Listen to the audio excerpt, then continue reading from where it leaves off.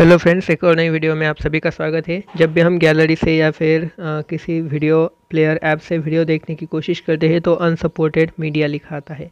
Video play नहीं हो पाती है अनसपोर्टेड मीडिया अगर आपको बताता है तो कैसे आप इस प्रॉब्लम को ठीक करेंगे वही मैं आपको इस वीडियो में बताऊँगा। तो वीडियो को लाइक और चैनल को सब्सक्राइब ज़रूर कीजिए। देखिए यहाँ पे अनसपोर्टेड फ़ाइल टाइप है या फिर कभी कभी अनसपोर्टेड मीडिया लिखा आ सकता है।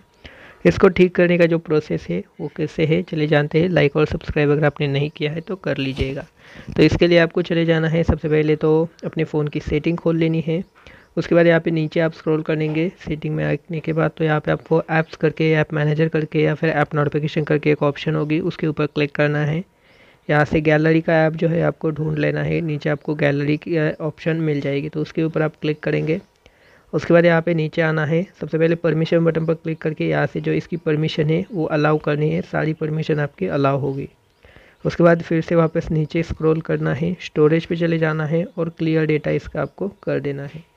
इसका क्लियर डेटा करने के बाद वापस आप ट्राई करेंगे गैलरी को खोलना है और चेक करना है आपकी वीडियोज़ यहाँ से प्ले होना स्टार्ट हो जाएगी।